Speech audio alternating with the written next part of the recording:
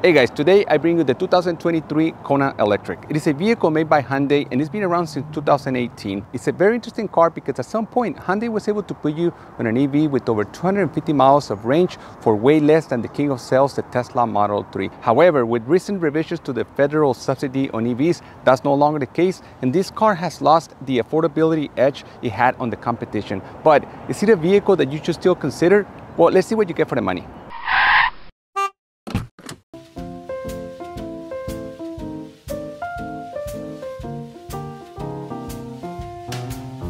Let's start with what powers the Kona EV. As you can see, this engine bay looks just like a regular car, and that's because when this car was conceived, they had in mind to make this both a gas engine car as well as an electric. So even this motor cover here looks just like what an engine bay will look like in any other car, so you don't get things like the front trunk that you get in other EV. This electric motor propels the front wheels only and is good for 201 horsepower and 291 pound-feet of torque, which is a lot considering the size of this car. The battery pack is the biggest among the competition at 64 kilowatt hours and is supposed to do 0 to 60 in about 6.4 seconds, which is pretty fast. And charging times take about 9.5 hours to charge at 240 and with DC fast charging, you can charge this car from 10 to 80% in about 47 minutes, which is twice as long as it takes to charge the Ioniq 5.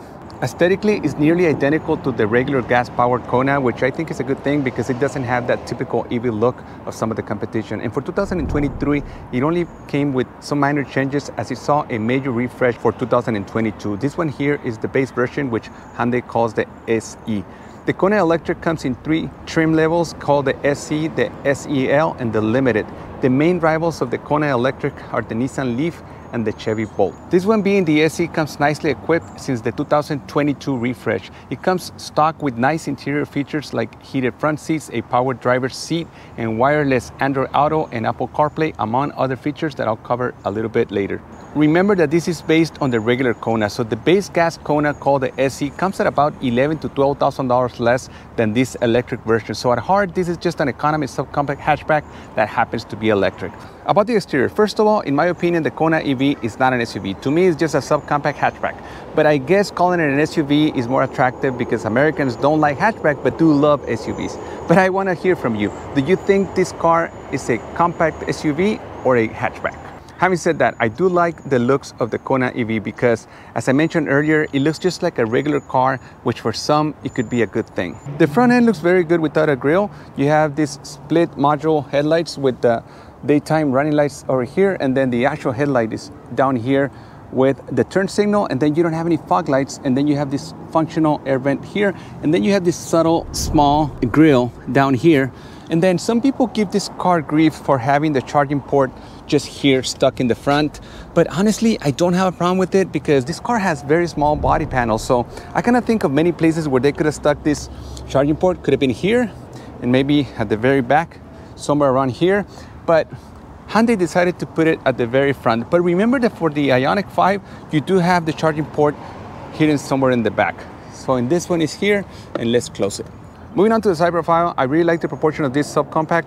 Something I really like about this Kona EV is that unlike the gas engine Kona, the EV has color matching cladding this. So on the regular gas engine Kona, this is black and uh, you have to go for the N Line to get this color match. So I like this upscale look on this Kona EV. Regardless of trim level, the Kona EV comes with one tire and wheel choice. 17 inch wheels and these tires are 215 by 55 which means that these tires are narrow and I think that with such narrow footprint this car struggles to keep grip with all the torque in this motor. But what I do like is that Hyundai gave this car a nice stance with white track and a flush look down here. As you can see, the tires stick all the way out, so it gives it a very nice stand. Notice how the wheels were pushed to the corners to maximize interior space, especially back here. Very short overhangs. Size-wise, the wheelbase of the Kona EV is about 4 inches shorter than the Nissan Leaf at about 102.4 inches long, which is identical to the wheelbase of the Chevy Bolt. Something else worth noting about the exterior is the small wheel arches that are nicely filled with these rather smaller tires, especially for today's standards. The belt line of this car is pretty high, but you still have these larger windows that give the driver very good visibility. You're gonna notice that some of the design language of this car is starting to look a little bit dated, and that's because Hyundai has been updating their lineup pretty aggressively in the last few years, and a new Kona is due for 2024. And then moving on to the rear end of this car, this is probably my least favorite angle of this car, and that's because I don't understand this tail light design. So these are your main tail lights that happen to be smaller than this module here that hosts the reverse lights and the turn signals. And then down here, just have this trim that mimics what it would be like a grill, but it's actually nothing. And then the badging is kept to a minimum. Kona here, the brand, and then just this badge that reminds people that you're driving an electric vehicle.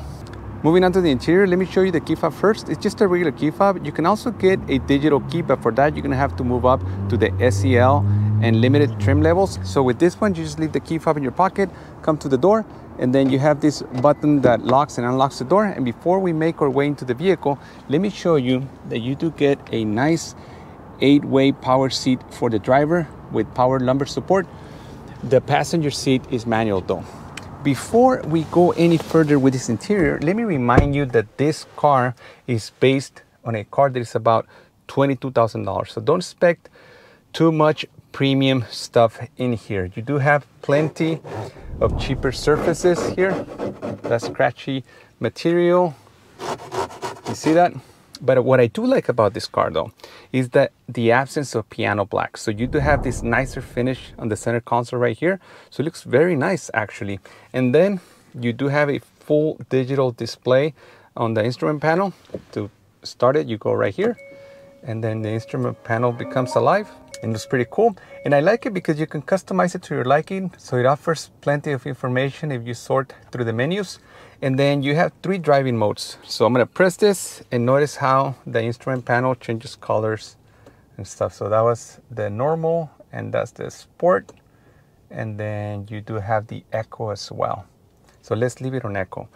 So going back to other features, like I said, I do like the center console.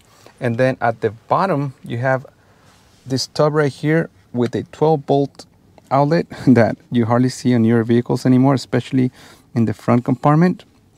And then you have your outlet for a charger right there as well. Some of the knobs and switches in this car are starting to look a little cheap, but my guess is that for 2024, when they redesign this car, all this is gonna be upgraded.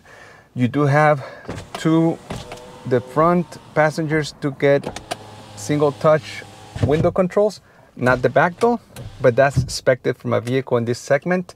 And then what you also have is, is not a dual climate control, but you do have the option to have the AC just for the driver. And I think this base model comes with six speakers and you can upgrade to eight speakers when you move up to the SEL and the Limited as well. Like many other cars, you get these control buttons mounted on the steering wheel. And then back here, this paddles they're not to drive this vehicle in sport but they actually allow you to change the regenerative braking on this car from none to one two or three and you can put it in three and it's very aggressive.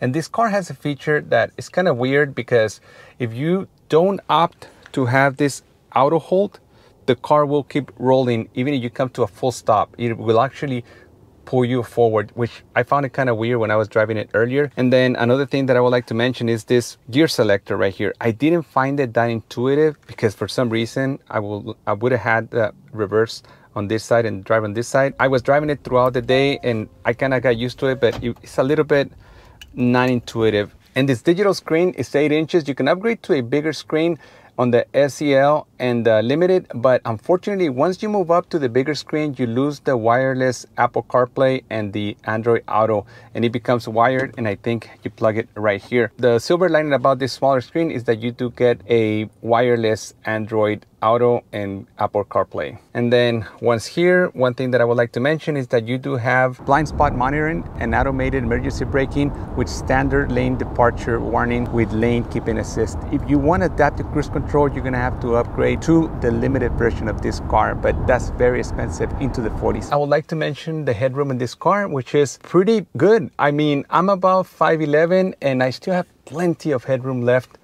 and I, I put all, the seat all the way down and notice how I have plenty of headroom left.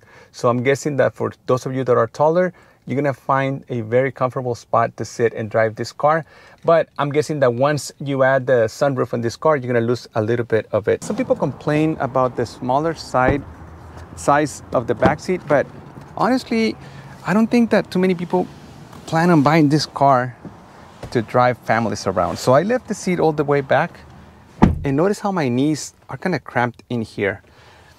Again, is this an SUV or just a subcompact hatchback? To me, it's a subcompact hatchback, but let me know in the comments how you feel about this car. And again, you don't have too many amenities in the back seat other than that outlet for a charger. And then you have this center armrest that you can bring down. Oh, let's not break this camera because it's expensive. You have this armrest with two cup holders. Let's go check out the cargo capacity of this car. First, let me show you that the liftgate is manual, not powered. I mean, expected from this segment. And the cargo capacity of this car is listed as 19.2 cubic feet, which is three cubic feet smaller than the Nissan Leaf, but about three cubic feet bigger than the Nissan Bolt. So that was kind of a tongue twister. Let me show you something. Once you move down the rear seats, once you fold them, they fold almost flat and then you remove this privacy cover and the capacity now becomes 45.8 cubic feet, which is identical to that of the Nissan Leaf and the Chevy Bolt, which is really, really good. I do want to show you that underneath you don't have a lot of space. You don't have a spare. You do have a repair kit, and that's about it. Let's put it back together and let's go drive this thing because I'm tired of talking the weather has been so crazy this last few days in San Diego because it's sunny, then it gets cloudy, then it rains, then sunny again. But nevertheless, we're here driving the 2023 Kona EV. This car is not loud. Um, honestly, it's not louder than my Model Y, and I think, I mean, there's the Model Y is very loud, but the road noise in this car is, is not bad at all. Actually, this car comes equipped, and I did not did not mention it earlier when I was showcasing the car. Um, it comes equipped with acoustic uh, windshield, which is supposed to minimize uh, road noise. And then also it comes with solar windows, which means they're kind of like tinted windows, but without the tinting to prevent extra UV rays from coming into the car, keeping the car cooler. And the fact that this car has a solid roof without a sunroof or a panoramic roof or a glass roof like the Model Y, I think this car is pretty quiet. Also, one thing that I do like about this suspension is that it is soft, but it's very compliant. It's not wobbly, so this car is very well planted. The fact that you get that massive torque uh, instantly at 297 horsepower, um, I mean pound-feet of torque, um, it's a lot of torque for a vehicle, for a front-wheel drive, but I, I cannot think that having too much power can be a problem because you're not going to be racing this car you're not going to be drag racing um, a Kona EV but what it gives you it gives you a lot of power for the go. Unlike other front-wheel drive vehicles you do have this battery across the floorboard which balances the weight of this car. This car is about 800 pounds heavier than the gas version of this. So as you can see that weight has got to do something with the massive weight of the battery. But the fact that it's spread throughout the the basically the floorboard of this vehicle makes it a better driving experience than a just a normal um, front-wheel drive with massive torque possibly boosted like a turbo engine from a front-wheel drive. Um, this drives a lot better. I don't like to trash vehicles. This is not the channel for that. But what I will do is I'm gonna take it for a drive on the freeway get a feel for the road noise at highway speeds. As I'm taking this curve I don't mind it. It's actually pretty good. Remember I do drive a front wheel drive vehicle my wife drives that Acura and this one drives better than than a regular front wheel drive vehicle and you do have all that power at your disposal whenever you need it to change lanes um, right now I'm doing 70. So you can sense a little bit of that road noise that people talk about. But to me, it's not an issue. When I picked up this car earlier today, it said that it had 261 miles of range. So that means that it's a little bit over the projected range by Hyundai. You have these paddle shifters mounted on the steering wheel. They allow you to control the amount of regenerative braking that you get from this car. So it has three levels, three levels, I'm sorry. And if you want to get that auto hold that you get from other EVs, you're gonna have to press it here. So even in the most aggressive um, regenerative braking, the car will creep up, and that's kind of weird because I kind of think of a scenario that I came to a full stop and I still need the car to go if I'm not with my foot on the on the brake pedal. So that's something I did not love about this car. People always want everything in a car. They want all-wheel drive. Well, this car doesn't have it.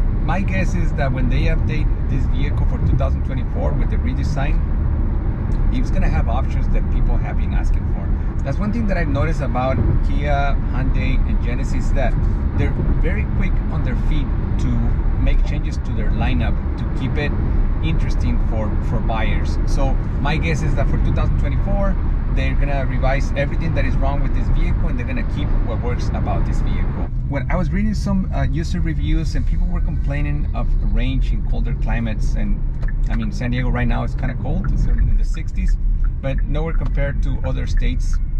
So I want to hear from you if this car is severely affected by the cold weather. So right now we're gonna put it in sport see how it does. I have not driven it in sport mode throughout the day, so I want to see how it drives. And I wonder why it kicked me out of it. Let's see how it does right now when we get on the on that ramp. You hear that? Plenty of wheel spin. But you don't buy this car to drive it like that. And it was already rolling, so I can only imagine to do it from a dead stop. Let's try it right now. Let's be responsible. Wow.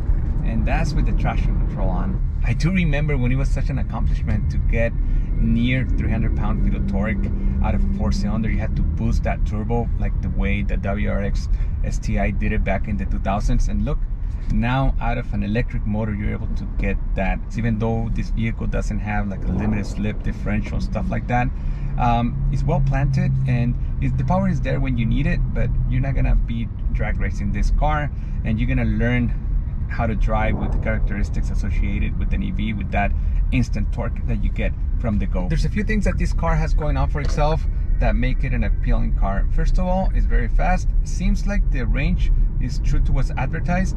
Um, the sitting position is great. The suspension is soft, but at the same time, the vehicle is very predictable and very compliant because of the weight distribution. It's, it feels very well planted. Unfortunately, it's not available in all states and it doesn't qualify for the federal tax incentive uh, that the competition does. So the Nissan Leaf and the Chevy Bolt still do qualify for it, which hurt the appeal of this car. This has been my review of the 2023 Kona Electric, a great car with awesome range thanks to having the biggest battery among the competition. But unfortunately, it doesn't qualify for the federal tax credit of up to $7,500, which makes which makes it less appealing than the Nissan Leaf and the Chevy Bolt, which as of the making of this video qualify for the incentive. To make matters worse for this car, the basic Tesla Model 3 comes down to only a couple of thousand dollars more than the Kona EV, and the Tesla Model 3 runs laps around this car in technology, amenities, driving dynamics, and way faster charging. But don't be so quick to discard the Kona Electric yet, as it offers one of the best warranties in the industry, if not the best. And the Kona EV comes with complimentary maintenance for the first three years or 36,000 miles. And as of the making of this video, you can lease a Kona EV with a $7,500 lease incentive, which makes it a great deal for those of you that like to lease vehicles. Thank you for making this far into the video. If you liked it, please hit that like button. If you haven't done so, please consider subscribing. Also, you have a car that you would like me to review on my channel, please leave me an email to the email address on the description box. It helps me a lot. Thank you, and I'll see you next time.